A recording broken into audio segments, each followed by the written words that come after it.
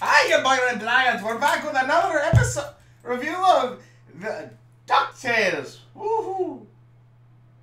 I don't know what the fudge again I'm doing. But in any case, hopefully I don't drop my goddamn cane this time. But, um, this is another episode of DuckTales. Woo! Well, two episodes. Um, The Great Dime Chase and Day Trip of Doom. Which, God, I freaking love this show. like, this is literally how you do a remake or a reboot of something. You keep it, you keep it, like, because what a lot of cartoon shows do is they try to recapture the the old thing by doing similar things, but then also dumbing it the fudge down to the point where it's like, why even do this? Powerpuff Girls came back is terrible. Teen Titans Go or Teen Titans back terrible. They make it millennial. And by that I mean one, it makes it dated as all heck. And mind you, not saying that like there are some jokes in here that pro- might probably maybe did later on. Maybe I don't know. One of them maybe, but um, like not saying that's not the case, but in these, but these feel one updated and still feel like they could, you know, you can watch it years later, like oh, this is freaking awesome, and it doesn't feel dated at all. Um, unlike let's say if we go to Powerpuff Girls and like you know, they just start ah, just Powerpuff Girl, the Powerpuff Girls thing, or Teen Titans Go. It just feels so goddamn stupid. Those feels so goddamn stupid. And this at least seems to have fun with everything that they're doing, and it doesn't feel like they're trying to rehash the other ones. And mind you, also, um, there's a lot of freaking awesome stuff in this. But basically, the first one, Day Trip of Doom, which is basically, basically the kids are having are screwing around are screwing around having fun. They decide to go to like a Chuck E. Cheese esque place, but the Beagle Boys, which it's awesome that the Beagle Boys are in here, and also are given a new look, which is not bad. Um, Beagle Boys come back or come in, kidnap them, but then the the kids switch it and kidnap one of the Beagle Boys, and then Donald and and then also while this is going there's a side story where Donald and Mrs. Beakley are kind of going at it because basically Beakley is not thrilled having um, the Duck family in this house, other than Scrooge. Um, the kids are go having awesome Nerf wars, which is freaking awesome. I have like I have like a couple Nerfs. Oh crap! I almost dropped my cane. I freaking love it. And it's, oh, one of the best Nerf guns. Um, it's one of the coolest. Uh, but yeah, uh, they're having like Nerf battles, yeah, and Webby is awesome. Everybody knows I put like three times. Webby is freaking awesome. I love Webby. Webby's freaking epic. Just going around like, what is it? They're just having Nerf wars, but she has like a backstory, and it's like, and she has like. She has like goggles on. She's setting up traps, and she's like, ah, boom, doo, doo, doo. It's freaking amazing. Fire safe zone! Fire safe zone! this isn't a foyer. It's your tomb. oh god, it's amazing. Um. But yeah, so basically, Web, they're they decided to go to a Chuck E. Cheese S place, and Webby it, is happy to go along, but this is one of her first times she's ever left the mansion, and because of that, sorry, and because of that, it is of course a kind of a fish out of the water story.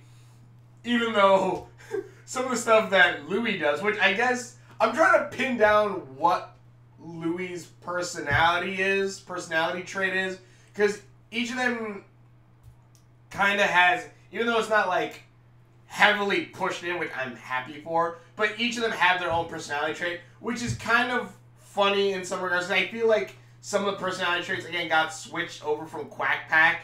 And it does, and I feel like there is some inspiration from Quack Pack that was added to this too, because Quack Pack is kind of a sequel to DuckTales, but not as good.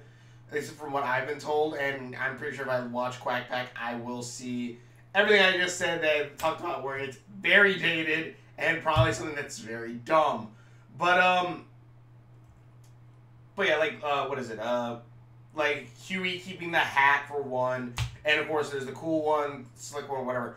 But in in this, um, what is it? Huey. Huey is of course the smart, nerdy kind of one. Dewey is the heroic, um, inquisitive one, and then Louie is the lazy, the lazy, uh, the lazy one. That's there are three types, and then Webby is awesome. ah, God, and so basically, this is freaking awesome. Seeing one Beakley and Donald going at each other, which is freaking fun. Um, Scrooge, I do like how like Scrooge doesn't have to be in all the episodes or be a main part of all the episodes to make them fun, showing that all these other characters do have or can hold a story. Especially Donald, which one I do like that they don't make Donald like a wimp or something. No, he's actually pretty goddamn strong in this, or strong in the sense that he can take care of himself. Like when he fight, when he finds out the kids are kidnapped and him and Beakley go to save them, he beats the crap out of the freaking like big one and little one, just like using cartoon speed logic and stuff. I'm like, oh my god, it's freaking awesome. And that makes sense again because Donald has been on adventures. Scrooge, I freaking love like what is it? Gets gets um shot at with Nerf darts. He freaking throws up like a a dish tray, like catches all the bullets on it. I'm like, oh crap! And then on that too, um, Louie, I think it was Louie. It was Louie, I think. No, maybe it was Dewey. I can't remember. Basically goes, I'm gonna get you. I'm gonna get you, Huey or Dewey, whatever. And, and Scrooge just goes, Hi, boy. If you're gonna get him, don't yell his name. Make it a surprise. And I'm just like, oh my god, he's telling them how to murder someone. Which gets actually pretty funny later on in the Chuck E. Cheese place. Because basically, what is it? Uh, Louie is using, is charming, I guess, the waitresses there to give him free stuff. Like, one gives him, like, free tokens. I guess he's the flirtatious one, too. And another one gives him, like, the cup, a cup of water, but really it's the fill up for fruit punch which I have done before. oh god, but um, which I have done before. Mind you, the first time I ever did it, I didn't know I was doing it because uh, quick side thing. I think we went to a certain sandwich shop that you say have it your way. No, that's burger. Never mind. Uh, we went to a certain sandwich shop and my brother asked for like two cups, two cups for water. I didn't hear the water bit and I filled it up with I filled it up with Coke. And there's just, he's like, dude, I'm like, what? He's like, that was for water. I'm like, oh, too late. oh god, but um, but yeah, uh, but yeah. So that time, man, basically, uh, Webby tries to do it, and she kind of screws it up. The manager comes in, and Louie, Louie like, cut it, cut it, stop, just stop. it just just stop. And, and Webby looks at him and just holds up a and just holds up a freaking spork like, should I kill him? I was like, oh my god, Webby's gonna murder. Webby's ready and able to murder someone. Um, and then of course there's like a guitar DDR point uh game at one point, and of course like Webby screws everything up, and even gets them kicked out. But the Beagle Boys coming because they want to kidnap the kids, kid, uh, but it goes awry when it, her, their mom comes in. The main, the smaller Beagle Boy gets thrown in. Which one I do like that the small Beagle Boy is now the smart one. Again, personalities are swapped in this. Um, I'm pretty sure was Louie always the slick one. Maybe the maybe do maybe Dewey and Huey's personalities got switched from Quack Pack. I think. I'm trying to remember Quack Pack. It's been like a while. I remember Goof Troop way more. Um, but uh, yeah. So basically, they get there's basically they get kidnapped, and because Webby's different, she's able to help save the day, and she's able to save the day, and it's pretty awesome. Uh, Beakley and Donald kind of have their own thing where they're going at it. Like Donald's trying to say like he he doesn't need Beakley's help with things, or he doesn't need to ask Beakley for stuff, and so he tries to do things on his own, like setting generators stuff, but everything goes wrong. At one point, he sets his house on fire and the pool on fire for gasoline. It's kind of really funny. Um,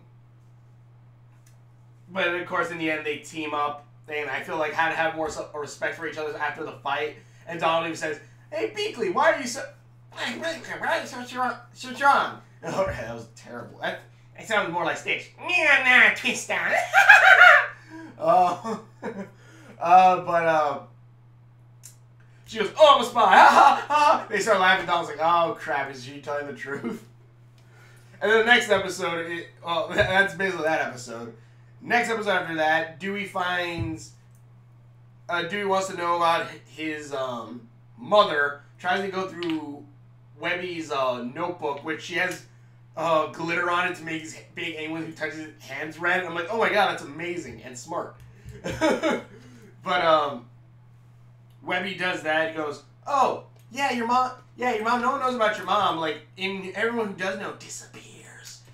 And so they decide to join Scrooge and Louie as they go to um, the money bin because Louie is being a spoiled kid to points where like he only drinks the first sip of a soda because that's the most fizziness, and then after that he just leaves the entire can there.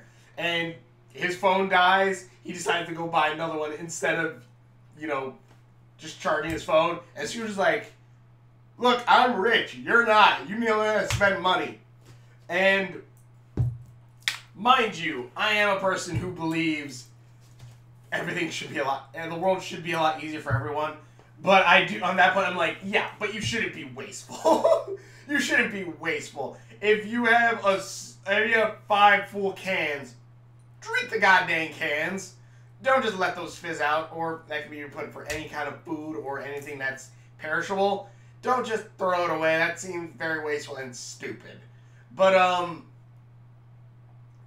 but yeah. So like, uh, Scrooge takes him along for the money to the money bin, where Louie then loses what he believes is Scrooge's first dime, and has to go around trying to get it asking Gyro, which I forgot about Gyro. If I remember incorrectly, he's the scientist guy from the from the first series where he's actually becomes a superhero, and he was like, what is it? Um, oh, God dang it! I remember I, I loved I loved his character design. I loved I loved it. I can't remember the freaking name, but it's basically the he gets like a super buff armored suit. He has like a visor with like a fin, and then he's like on one wheel, like a, on what his then it's like all on like a unicycle like wheel, and he was like a superhero that came in every so often. I'm like, oh god, I remember that. He was freaking awesome. He had the he had the Iron Man summoning the armor that comes in attaches way before Iron Man ever did. It was freaking epic, and I loved it. He was one, he was one of my favorite characters. Out of all of Ducktales that I that I remember, out of all of Ducktales, other than maybe Launchpad, he is one of the main things that I extremely remember that I extremely loved about that show. Um, I really hope I'm talking about the right thing, unless I'm totally unless I'm totally like getting this mixed up with another Duck superhero. Because I don't think it was Darkwing Duck that he was in. No, I'm pretty sure it was. Um, even though I think he might have made an appearance, I want to say Yo Yo. I I want to say that it was Ducktales. But in any case, um, so yeah, like he ha- he he apparently builds robots, and they and they always go with sentient and evil until the especially at the end where he says that he should be the robot. And then what else was there? Um, also I love with Scrooge is with the vulture chart guys, when um they're trying to cut expenses and try to like fire some of the people, and Scrooge's like, you know, half these people are crazy, right? If you fire them, they're probably gonna come back with vengeance. and the guys are, that's a good point. and then was it uh, Huey and Huey and Webby uh, go into the Scrooge archives to try to find find um, the the stuff like news about his mother, but um they but they have to go through certain trials like going through the Dewey Decimal, learning about the Dewey Decimal System. Dewey Dewey um, learning how to put books away, stuff like that, and fight off the crazy librarian. But it turns out that she was actually teaching them how to unlock the thing as they unlocked, as they did the things that would unlock this secret room in the back, where shows all of the all of um, I think it was Dala Duck, Della Duck. I forgot that their their mother's like secret room, I guess, that has all of her belonging her uh, belongings and her adventures, and then it has a note that says, "Scrooge, I'm taking the spear of whatever." I'm sorry. And it's like, wait, what does that mean? Did, did Scrooge get rid of her? Did, did she betray Scrooge? What happened? And and I was and it was pretty good. I love also. Oh, what is it? Dewey tries to do the money dive, and Scrooge just grabs him. He's like, "What are you trying to do?" And he's like, "Trying to do the money dive." He's like, "Are you insane? You'll crack your skull open." It took me years and training to perfect and certain muscle movements to protect myself to do this. I'm like, my God, I want it. I want, I want a freaking, uh, I want a, a 2017 DuckTales game where Scrooge McDuck's special ability is swimming through money. my God, that'd be kind of like Scrooge McDuck's special ability swimming through money. You can have like that, like how they did a, the event that one Adventure Time game where it's like a dungeon crawler, but it's like have those old kind of pixelate pixel kind of well sprites and each one has their own abilities. Like Marceline had floating, which again I played as Marceline. Um, have Scrooge like she, he can dive through money at certain points. I don't know, it just seems awesome. But um, god dang, this show is so goddamn good. I love it. And again, like the, the date. If there's anything really dated, it's just that. Yeah, uh, Louie at one point was looking at his phone while he was going through. Louie was looking at his phone and watching like an like one of those uh Discovery Channel things like pawn shops or something like that, the pawn shop shows or whatever. Basically, watch something like that. That's probably like the most quote unquote dated thing in this episode. And I kind of really like that. Again, this is the right way to do a reboot or a remake of one of those classic cartoons. Powerpuff Girls 1. No, the new Powerpuff Girls sucks. Teen Titans Go. No. Because again, Powerpuff Girls 1. They try to push, I guess, more feminism, even though the original one pushed feminism extremely well and even made fun of the feminism that is happening in this show with um, that one feminist uh, supervillain who only collected Ant- Susan B. Anthony coins, which were half pennies, I think. Um, like that, like stuff like that. Like they, they, they, they like again if the Powerpuff Girls one wanted to be a continuation of the original one and wanted to push a feminist point of view more so than the original one did, because the original one did very well. That was a great show that both kid, boys and girls watched, girls and boys watched. Um, that's probably like the and FY and when they when I think they sold the toys at Subway or Burger King, I can't remember. I remember I got some. Uh, but um, which is funny too because I hid behind the counter like I was a spy. Like I need I need the Powerpuff Girl toys. but um, I'm trying to think. But yeah, like that one bad. Teen Titans Go one. Oh oh Ben Ten. That is actually a better one to bring up. But yeah, Teen Titans Go one. They they take an awesome, cool show and they kind of just dumbed it down to try to be like, oh, this is like Adventure Time, kind of crazy and dumb, without the you know heart and soul of Adventure Time. And that's what they're kind of doing with um, Ben 10 too, trying to make it like Adventure Time, but without any heart or soul in it. If anything, Steven Universe probably pulls it off even better, even though that one's not as crazy as Adventure Time. That really still has some heart and soul in it. Um, but yeah, this this show is just becoming like one of my favorites. It is becoming one of my favorites, and I love it. Um, it's probably a very long video, but Tell me what you guys think in the comments below. Thank you for watching. For sure, that I've done links on my Facebook around there somewhere. I, the mystery is deepening, and I want to know more. I do, and I want to know how this is gonna happen because I wonder if it's gonna be kind of a Stanford kind of thing with um D- Della Duck. I think her name was Della. I'm not sure, but um, Dee Della Duck, Donald Duck. Eh, yeah, probably. But uh, anyway, comments below. Thank you for watching the videos that I've done. Links are on my Facebook ones around there somewhere and we will. See you later. Also, I do like that, like, basically, it could be that he, uh, Donald took the kids because, one, their, their, you know, mom's gone, and, you know, it is kind of like he feels it's his fault, and that's kind of why he takes care of them, other than loving them, is, like, that is kind of sad and awesome.